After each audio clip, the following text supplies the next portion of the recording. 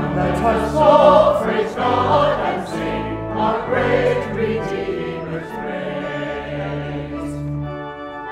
And we may all with one accord our joyful voices raise.